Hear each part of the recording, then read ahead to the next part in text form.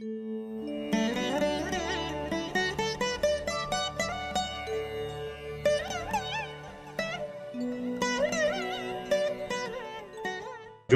என்பது ஒளியியல். ஒளி என்பது நம்பிக்கை. ஸோ நம்பிக்கை கொடுக்கறது தான் ஜோதிடம். இதுல மாற்று கருத்தே கிடையாது. பாவத்துவத்துல நீங்க ராகுவோடவோ சனியோடவோ அமாவாசை சந்திரனோடவோ சேர்ற சுபகிரகம் அதனோட அது பாபத்துவமாகுன்னு சொல்றீங்களே எனக்கு ஒரே ஒரு கேள்விதான். ஒரு நல்லவன் என்னைக்கு நல்லவன் தான் கெட்டவன் என்னைக்கு கெட்டவன் தான். அப்படிங்கிற போது பாவத்துவம் பெற்ற கிரகம் சுபகிரகத்தோடு சேரும்போது அது சுபத்துவம் அடைகிறது. சுபகிரகம் பாவத்துவம் உள்ள பாவ கிரகத்தோடு சேரும்போது பாவத்துவம் அடைகிறதுனா அந்த சுபகிரகத்தோட வலிமை தான் என்ன? இது ஒரு வகையில நம்பிக்கை குலைக்கிற மாதிரி இல்லையா? ஒரு குரு என்னைக்கும் குரு தான் அவன் நல்லவன் தான். அவன் கெட்டவங்களோட சேரும்போது கையை கொஞ்சம் சுருக்கிக்குவானே ஒழிய அவன் கெடுதல் பண்ணிட மாட்டானே குருவே. இப்போ நீங்க பாவத்துவம்னு சொல்லும்போது அது கேட்பவர்களை நம்பிக்கை இழக்க செய்கிறதா இல்லையா? அதைத்தான் நான் இங்க கேட்க வரேன். ஒண்ணு. ரெண்டாவது சிவகங்கை ஜோதிடர் ஒரு எத்து எத்தும் போது நீங்க சொன்னீங்க புதன் கூட சனி சேர்ந்திருந்தா மந்த புத்தி முட்டாளா நீ பேராசிரியரா இருந்தாலும் இருப்பேன்னு சொல்றீங்க. இந்த இடத்துல எனக்கு ஒரு கேள்வி வருது. பாவகிரகங்களோட சுபகிரகங்கள் சேரும்போது அல்லது சுபகிரகத்தோட சேர பாவகிரகங்கள் சேரும்போது காரகத்துவங்கள் டிரான்ஸ்ஃபர் ஆகுதா? கொரோனா காத்துல இருந்து நம்ம உடம்புக்குள்ள வர மாதிரி. அப்போ என்னோட கேள்வி சுபகிரகத்தோட எதிர்ப்பு சக்தி தான் என்ன? அது ஸ்தானபலத்தோட இருக்கும்போது எப்படி?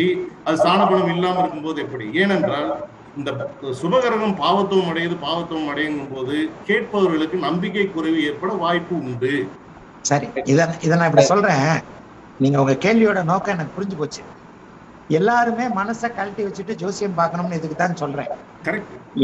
எனக்கு குரு நல்ல வலிமையா இருக்கிறாரு. அந்த குரு ராகுவோட சேர்ந்துட்டார் சனியோட சேர்ந்துட்டார். அவ்வளவுதானா ஆமாம் அவ்வளவுதான். மனசை கழட்டி வச்சுட்டு பார்க்கணும்னு இதுதான் சொல்றேன். குருவும் சனியும் சேர்ந்து விட்டார் அப்படின்னு சொன்னா பருவத்துல சனி தசை வந்தா நீங்க யோகசாலி. பருவத்துல குருத குருதசை வந்தா உங்களுக்கு யோகங்கள் குறையும். ஆனால் நல்லவன் என்னைக்குமே நல்லவன் தானே? குரு கெடுக்க மாட்டார். ஆனா கொடுப்பதை நிறுத்திக் கொள்வார். கைகளை கட்டிக் கொள்வார். கலப்புகள். உயர்நிலை யோக ஜாதகங்கள்ல பாத்தீங்கன்னா கலப்புகளே இல்லையே. நண்பர்கள் அதைத்தானே நான் சொல்றேன். நண்பர்கள் தங்களுக்குள் கேந்திரங்களாகவும் நண்பர்கள் தங்களுக்குள் கோணங்களாகவும் இருக்கின்றது உயர்நிலை ஜாதகம். ஒரு ஸ்பைரல் ஏன் உங்களுக்கு குரு சனி சேரணும். நீங்கள் யோகசாலியாக இருந்தால் குரு தனியாக இருப்பார் சனி தனியாக இருப்பார். அல்லது குருவை ஐந்து ஒன்பதாம் பார்வையால் சனியை ஐந்து ஒன்பதாம் பார்வையாக குரு பார்ப்பார்னு சொல்றேன்ல.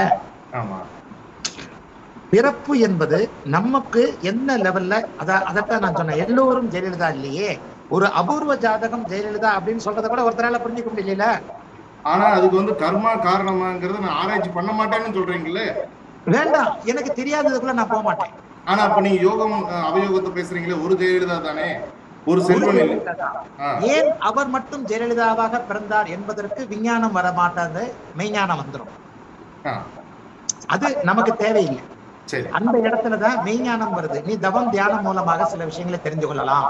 அதாவது அடுத்த ஜென்மத்துல நான் யாரா பிறப்பேன் அப்படின்றதுக்கு நான் இன்னைக்கு செத்து போனேங்க அதுக்கப்புறம் தான் தெரியும். யார் வந்து சொன்னது? போன ஜென்மத்தில் நான் யாராக இருந்தேன் என்று யார் எனக்கு சொன்னது? அவர் எப்படி எனக்கு வந்து சொன்னார்? நான் விஞ்ஞான ரீதியா யோசிக்கிறேன். எனக்கு தெரியாத தெரியாதுன்னு சொல்லிட்டு. சரி. நான் இப்ப என்ன சொல்ல வரேன்னா நீங்கள் யோக பிறவி ஜோதிடம் என்பது கண்டிப்பாக தன்னம்பிக்கை ஊட்டக்கூடிய கலை எல்லோரும் எல்லா நிலைகளிலும் அம்பானியாகவோ அதிகாரம் உள்ளவராகவோ ஒரு கலைஞரை போலவோ ஒரு ஜெயலலிதா போலவோ ஒரு இன்றைய முதல்வரை போலவோ ஒரு அட்லீஸ்ட் ஒரு எம்எல்ஏ எம்சிஏ போலவோ இருந்துறது அவரவர் அவரவருடைய தகுதியின் அடிப்படையில நிறைவாக குறைவாக இருக்கிறோம். கலந்து இருக்கிறோம். ஒரு பிச்சைக்காரர் ஒரு மனநலம் பாதிக்கப்பட்டவரை போல நம்ம இல்ல இன்னைக்கு. இந்த ஜூம் மீட்டிங்ல இருக்கிறவங்க எல்லாருக்குமே இன்னைக்கு ஓரளவிற்கு அவரவருடைய அமைப்புல நிறைவான வாழ்க்கை கிடைச்சிருக்கு. சரி ஆனால் இந்த ஜூம் மீட்டிங்கில் இப்போது கலந்து கொண்டிருக்கின்ற இந்த யூடியூப்பை பார்த்துக்கிட்டு இருக்கிறவங்க யாருமே ஒரு மாவட்டத்தையோ ஒரு மாநிலத்தையோ திசை திருப்பக்கூடிய அதிகாரம் உள்ளவர்கள் இல்லை. இப்போது இல்லை. இப்போது இல்லை. இப்போது இல்லைன்னு தான் நான் சொல்றேன். அந்த அதிகாரத்தை திசை திருப்பக்கூடிய ஜாதகர்கள் எல்லோரையுமே பார்த்தா அது தனித்துவமா இருக்குல்ல? குருவும் சனியும் சேரல இல்ல. புரியுதா? புரியுது அதாவது நீங்க கேட்ட கேள்விக்கு நேரடியான சுருக்கமான பதில சொல்லிடுறேன். சுபர்கள் பாவர்களுடன் சேரும் பொழுது சுபத்தன்மையை இழக்கிறார்கள். அவர்கள் தரக்கூடிய நன்மைகள் குறையும். அது சுவருடைய தசை வருகிறதா பாவருடைய தசை வருகிறதா என்பதை பொறுத்தது. சரி.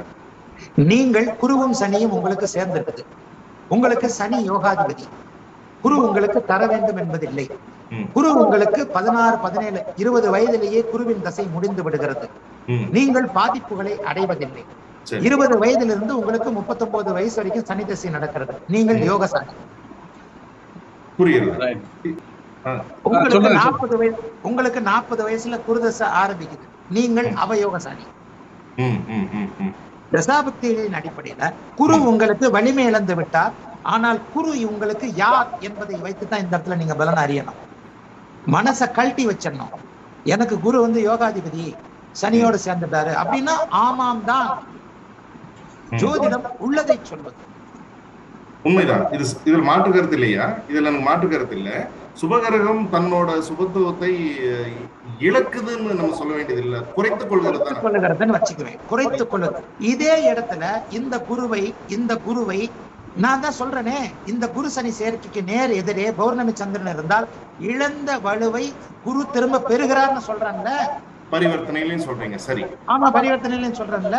இப்போ இது ஒரு பரிவர்த்தனை பத்தி அடுத்த ஒரே ஒரு சின்ன கேள்வி. இரண்டு சொல்லிடுறேன். இருங்க இருங்க. கலப்பு பலன்களை உணர்ந்துக்கிறதாங்க ஜோசியம். மிகவும் சரி சார். அங்கதான் இருக்கு. அங்கதான் எல்லாருமே ஒரே மாதிரி இல்லையே. நூறு ரூபாய் சம்பாதிக்கிறவனையும் ஐயாயிரம் ரூபாய் சம்பாதிக்கிறவனையும் ஐம்பது லட்ச ரூபாய் சம்பாதிக்கிறவனையும் எப்படி அடையாளம் காப்பீங்க? அதைத்தானே சுபத்துவ பாபத்துவத்தின் மைல்கல்லா சொல்றேன். படிநிலைகள்னு சொல்றீங்க. மிகவும் அதுதாங்க இந்த கலப்பு பலன்கள் இந்த சேர்க்கைகள் இந்த பார்வைகளை நீங்க புரிஞ்சுக்கும் போதுதான். ஒரு மனிதர் மாதம் பத்தாயிரம் ரூபாய் ஜவுளி கடை மாசான்னு கிண்டலா சொல்றோம். அவருக்கு ஒரு நிரந்தர இருபத்தஞ்சு வருஷம் முப்பத்தஞ்சு வருஷமா?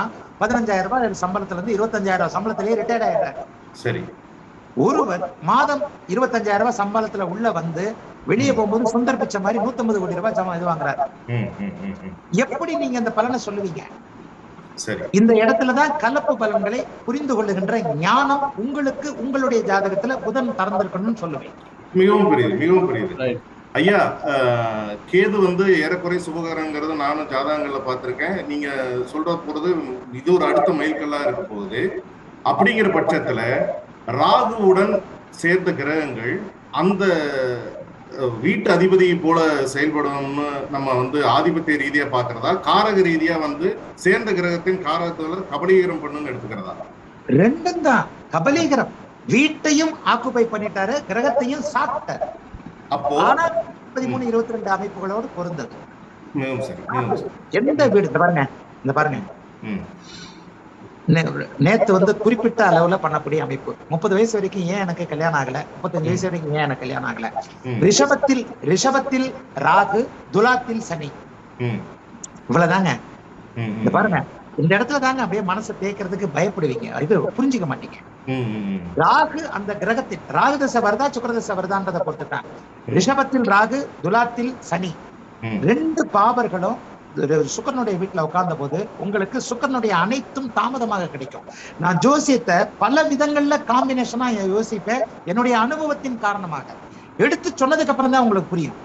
புரியுது புரியுதுங்க புரியுதுங்க. இவங்க ரெண்டு முப்பத்தஞ்சு பேரும் வயசாகி முப்பத்தஞ்சு வயசாகி என்கிட்ட ஏன் கல்யாணம் ஆகலைன்னு ஒருத்தர் கேட்கும்போது நான் என்ன. சொன்னேன் ரிஷபத்துல துலாம தனுசுல ரிஷபத்துல ராகுவும் துலாத்துல உனக்கு சனி இருக்கு. அந்த ரெண்டு அமைப்புகளும் அந்த தசைகளோட சம்மந்தப்படுறதுனால தாம்பத்திய சுகம் கிடைக்கல ஒருவேளை அப்ப சுக்கர் சுக்- அதற்கான புதன் தசை வந்துருச்சு கிடைக்கும் புரியுதா?